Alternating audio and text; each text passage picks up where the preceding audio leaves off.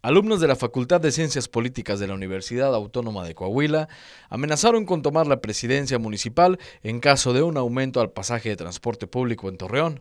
Eduardo San Román Olmos, estudiante de esta institución, dio a conocer que el día lunes 6 de enero se entregó un oficio en la oficina de Jorge Cermeño Infante, alcalde de la ciudad, en el que se advirtió esta situación.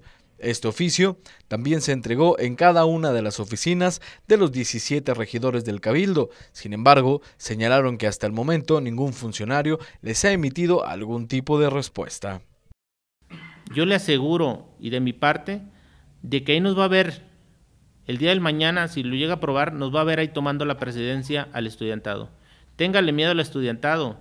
El estudiantado no tiene miedo, ¿sí? A nada y nos va a ver tomando la presidencia, porque por las buenas y por pacifistas llegamos ahí dando los argumentos, dando los oficios a cada uno. Aquí tenemos a cada regidor que se les entregó un oficio con los argumentos dados este, y que queremos un diálogo con los concesionarios y con los mismos cabildo, pero si no nos hiciera caso, nos va a ver tomando las instalaciones además de exponer su inconformidad ante los medios de comunicación, solicitan apoyos para la generación de becas de transporte por parte del municipio o bien del Estado.